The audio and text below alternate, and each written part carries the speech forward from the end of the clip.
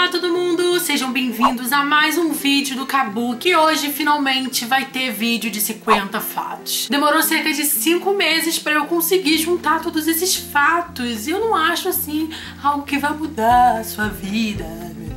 Mas se você tem curiosidades quanto a Kabuki aqui, o que, que ela fez da vida, o que, que ela quer fazer, coisas íntimas também, não abro mão delas. Então é melhor você ficar pra assistir, ok? Então bora começar. Meu nome completo é Karine da Silva Leôncio e eu tenho 23 anos. Eu nasci no dia 8 de novembro de 1992 e eu sou do signo de escorpião. O que leva mais um fato é que eu não acredito muito em astrologia, em horóscopo, todas essas coisas, mas o meu mapa astral me definiu, então eu respeito. Eu faço publicidade e propaganda na Universidade Federal Fluminense, que fica em Niterói. Ela tem campus por todo o estado do Rio, mas o ponto principal é Niterói. E é por conta disso que eu também moro lá. Eu tenho um apartamento lá, no qual eu fico durante a semana, e no final de semana eu venho pra cá, pra casa dos meus pais. Antes disso, eu fiz cinco períodos de biologia na faculdade antes de mudar para publicidade lá, também na UF. E o que eu posso dizer é que, embora eu não aproveite nada da biologia, no final das contas, ela me ajudou a ser a pessoa que eu sou hoje. Então eu não abro mão da biologia, não. Eu fiz cinco períodos e é isso. Eu sou cristã, a minha família inteira é cristã. Enfim, essa sempre foi a minha vida. Mas, gente, cristã, não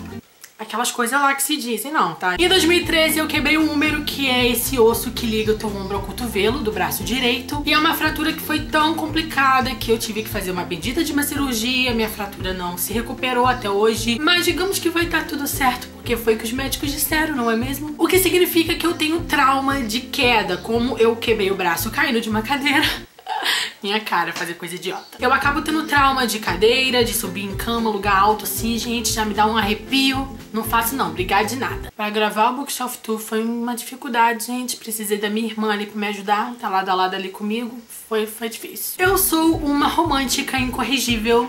Eu queria ser menos do que sou, mas é incorrigível. Se eu pudesse ver só um filme na vida, seria a animação Divertidamente. Tem gente que não gostou, mas eu fiquei completamente apaixonada por esse filme. A sad ou a tristeza me representa, né? Eu sou ela ali sendo arrastada no chão é, eu. Eu não tenho nenhuma fobia, mas um medo desesperador por animais peçonhentos.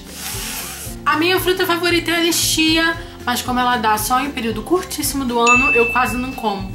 Sofro. O meu livro favorito é Um Caso Perdido, que é o New Adult, da Colin Hoover, mas o meu gênero favorito é o romance sobrenatural, paranormal e todas essas coisas. A minha música favorita é Can You Hold Me, da Britney Cole ali, com a participação do NF, ou do NF com a participação do Britney Cole. Quem me apresentou foi o Vitor Almeida, num dos vídeos favoritos dele de abril, algo assim, ele falou do NF. E eu sou completamente apaixonada por essa música que está no primeiro álbum dele, que é o Mention. E eu sou, assim, essa música me define, essa música me Ai meu Deus, eu não consigo falar de música direito. Eu amo, sou completamente apaixonada por assistir filmes online, gente. Tenho uma paixão aí por isto. É um hábito que eu acabei alimentando com os anos, mas que não foi embora não. Eu sempre fui uma pessoa muito ansiosa com acontecimentos, mas para todo o resto eu sou extremamente paciente, como fila de banco, para trânsito, todas essas coisas, esperar no médico para ser atendida, eu sou bem paciente, mas muito ansiosa quanto a acontecimentos.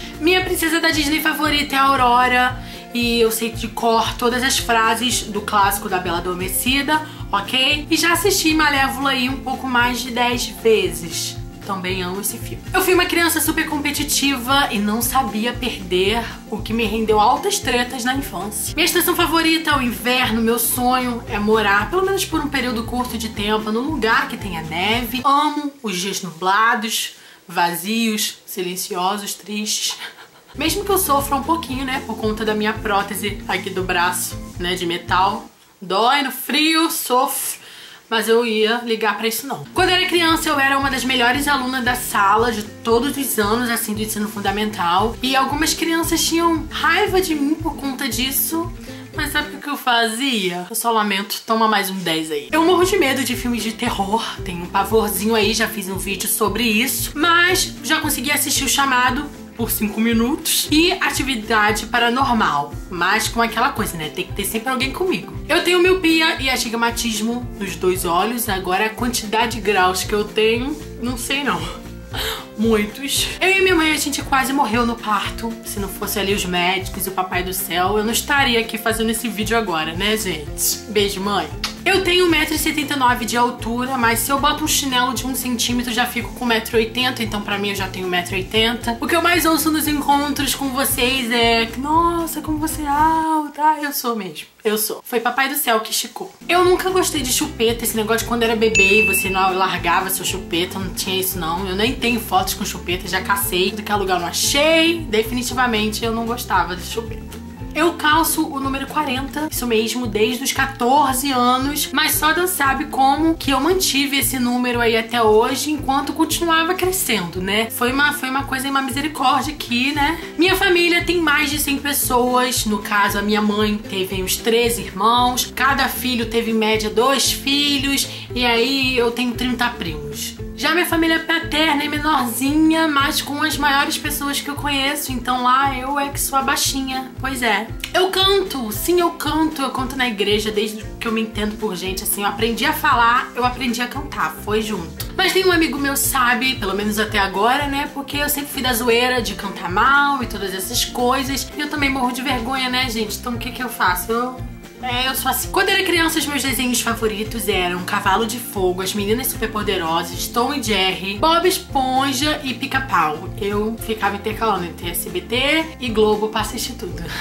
eu já visitei o Paraguai, já visitei a Argentina, né, gente? Viajar é uma coisa boa pra gente fazer na vida quando se tem money. Mas eu não gostei muito do Paraguai por conta das pessoas. Os paraguaios, eles são uma versão mais louca do brasileiro. Um pouco mais sem noção, pode acreditar. Tem gente mais louca do que brasileiro por aí. Eu colecionava figurinhas, chaveiros, cartas, folhas de fichário, só que tudo isso foi desaparecendo com o passar dos anos. Não sei como desapareceu, né, mãe? Eu tenho uma caligrafia muito feia. Eu tenho um dossiê do ano de 2006, porque na minha adolescência foi o meu melhor ano, assim, altas tretas, muitos grandes acontecimentos. Tenho um dossiê guardado, contando todos os meus dias, mas é um negócio que só eu posso ler, né, gente? Por motivos de confiança, é uma coisa que eu não tenho quanto a esse dossiê. Não é que eu seja uma pessoa ciumenta, eu acho que eu não sou, mas a minha irmã, quando se trata da minha irmã mais nova, assim, eu, eu tenho ciúme ali, o negócio do, da proteção. Coisa de irmã mais velha, né, gente? É um bebezinho, né? Ela tem 20 anos. Um dia eu trago ela pra vocês conhecerem, tá bom, gente? Ela é maravilhosa. Eu sou uma pessoa extremamente carinhosa com as pessoas que eu amo e eu tenho um instinto muito grande de defendê-las, talvez porque a minha relação com a minha irmã é assim, com os meus primos. Eu acabei alcançando isso com os meus amigos e tudo mais. Então, quando se trata de defendê-los, eu vou lá e Opa! Eu já fui loura e me arrependo muito disso. Eu realmente fiquei bem loura mas me arrependo muito disso. Minha cor favorita é azul, mais especificamente o azul marinho. Amo. Eu sou muito chorona, demais, assim, é até perturbador, sabe? Porque eu choro com qualquer propaganda que tá bem feitinha, tem uma mensagem legal, tô chorando. Propaganda de fraldas, também tô chorando. Brota uma lágrima ali em qualquer situação. Eu odeio falar no telefone, que faz com que o meu celular fique 24 horas por dia no modo avião. Eu durmo muito, eu sou uma pessoa muito dorminhoca, super apaixonada pela minha cama. Tenho que acordar com o despertador todos os dias. Ah, amanhã tem que acordar meio-dia. Botar o celular pra despertar meio-dia, porque senão eu não levanto. Meu super-herói favorito é o Superman, mas eu prefiro a Marvel. Hashtag TeamCap. O primeiro vídeo que eu assisti no YouTube, sim, eu lembro, foi o videoclipe de Umbrella da Rihanna na Lan House. Na época eu não tinha computador em casa. Gente, eu lembro até hoje, quando me mostraram um vídeo e eu vi a Rihanna ali na minha frente. Foi um negócio assim, assim, ó minha youtuber favorita é a Flávia Kalina e aí eu tenho que ficar assistindo o vídeo novo mais uma vez. E aí eu tenho que assistir os vídeos mais antigos que eu esqueci de novo também pra lembrar, né? Porque afinal, quando se fala dos vídeos de Flávia Kalina, a gente tá falando de uma aula. Quando eu era criança, eu já interpretei a Dona Benta na escola, numa peça da escola. E a peça ficou tão engraçada comigo como a Dona Benta, um amigo meu como Saci Pereira. Ficou tão engraçada a peça que a gente teve que repetir algumas vezes, talvez umas 4, 5 Fizemos uma mini temporada. Até hoje eu uso os termos show de bola, top e sofro bastante bullying por conta disso. Minhas séries favoritas são PLL e Shadowhunters, eu tenho gostado bastante da série de uma forma isolada, mas digamos que eu não assisto muita série, talvez porque eu tenho que dormir menos para conseguir me organizar também. Falta isso, falta organização e dormir menos. Eu sonho em ter três filhos, então toda vez que eu tenho preguiça de estudar, eu lembro, paro, respiro, vou ter três filhos para sustentar, preciso voltar a estudar. Aí eu volto rapidinho.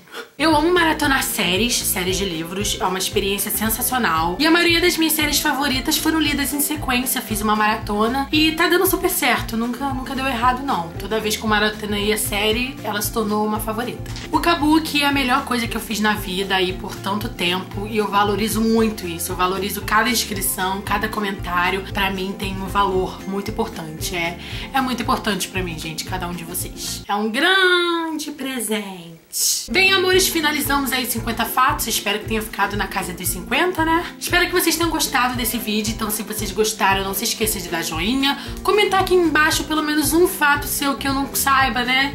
Pra gente se conhecer melhor. Se você chegou agora no canal, então se inscreva aqui embaixo pra você receber todos os próximos vídeos em primeira mão e acompanhar o Kabuki em todas as redes sociais. Eu vou deixar tudinho aqui embaixo pra vocês não se perderem nunca. Então é isso, meus amores. Eu tô indo mais, eu volto. Um big, big beijo pra vocês e até o próximo vídeo. Tchau!